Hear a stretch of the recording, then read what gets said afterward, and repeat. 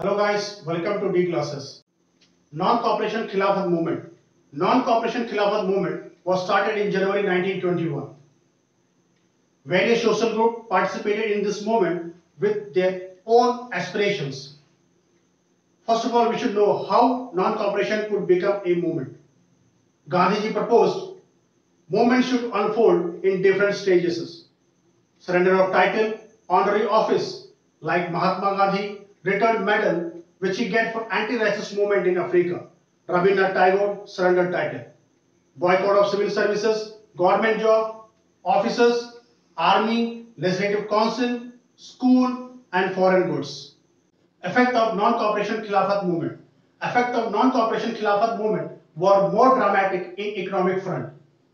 Foreign goods were boycotted, liquor shop picketed, foreign clothes were burned in huge bonfire. Many places, merchant and businessmen refused to trade in foreign goods or finance foreign trade. Indian handloom and textile production went up. Jamia Millia Islamia, Bihar Vidyapeeth, Gujarat Vidyapeeth were the sub institutions were set up under this national movement. Non-cooperation Khilafat movement in Awadh. Non-cooperation Khilafat movement in Awadh was led by Baba Ramchandra. Here the movement was against Talukdar landlord who demanded from peasants exorbitantly high rent and variety of services. Peasants had to work begar and to work at landlord farm without any payment. As tenant, they had no security of tenure. Being regularly evicted from their land, they could not acquire rights over the leased land. Peasants demanded reduction in taxes, abolition of landlord and social boycott of oppressive landlord. Non-cooperation Khilafat movement for tribal people. Non-cooperation Khilafat movement in Gudem Hills of Andhra Pradesh was a militant guerrilla movement spread in 1920 led by Alluri Sitaram Raju. Here, as forest region, colonial government closed a large farm area preventing people entering forest area to collect fuel wood, graze their cattle and fruits.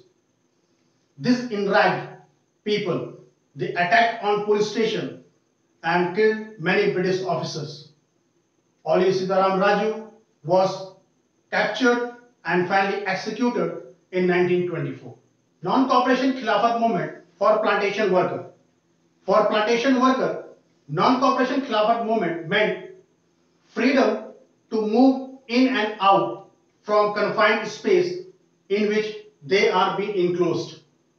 Under Inland Emigration Act of 1859, plantation worker could not leave tea garden or tea plantation area without permission. In fact, they got some permission rarely. When they get to know about this movement, thousands of workers left tea garden and moved towards their home. They believed that Raj is coming. But however, they could not reach to their destination.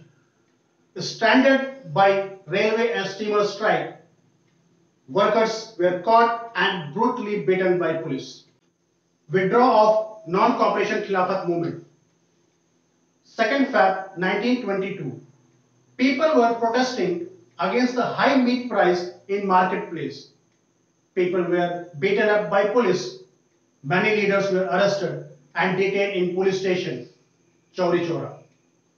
On 5th February 1922, people around 2500 moved to the marketplace, picked up liquor shop, police beated them and arrested one leader. They moved to the police station to release their leader. Police fired a air shot, hoping them to disperse.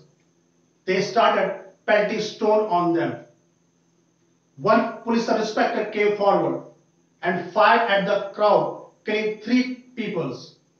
This incensed people who charged on policemen and police station were set ablaze by people.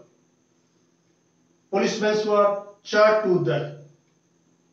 Finally, Mahatma Gandhi, after this Chauri Chaura incident, came to know about that these satyagrahis need to be trained well because this movement was turning violent. Guys, subscribe this channel to get latest information about different subjects of CBSE and other competitive examinations.